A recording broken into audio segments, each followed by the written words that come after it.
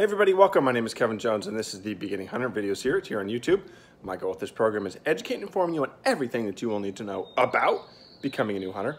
Hey, I got a Yeti Tundra. It's a cooler, if you didn't know that one. Um, anyways, I just got it last week and we're gonna do a little test. So without further ado, let's get started. All right, so we were on our way to the lake this morning and I put about three bags of ice in this bad boy. And I just simply want to see how long this ice will stay. So I just drained all the excess out of it, so it is just solid ice now. There's a couple water bottles in there. Um, so this is gonna be day one, and I'm just gonna check in on this thing every day until there's no more ice. So, all right, day two. Let's see, let's check it out, day two, here we go. Dang, son. Ton of ice still.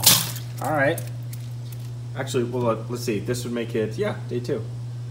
It's two days in, still a bunch of ice. The test continues. All right, day three. Checking it. Let's see if there's still ice in here. no ice. No ice. Wow, dude, I thought for sure we were gonna get further than that. There's three bags of ice in here and it didn't let me last three days. No kidding. Huh.